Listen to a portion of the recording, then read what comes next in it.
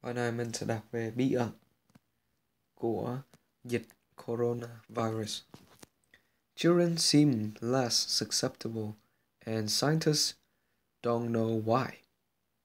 Có nghĩa là trẻ em có vẻ như less susceptible là ít dễ bị dính bệnh.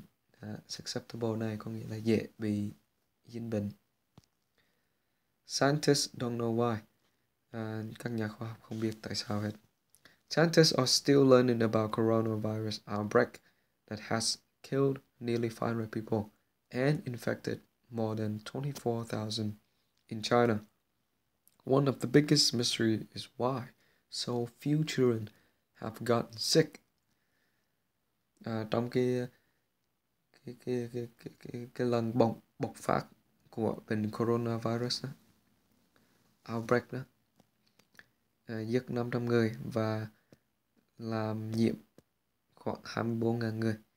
Mà một trong những cái mystery mà họ, những người ờ, nhà khoa học còn đang hỏi đó là tại sao ít trẻ em bị nhiễm cái virus này vậy?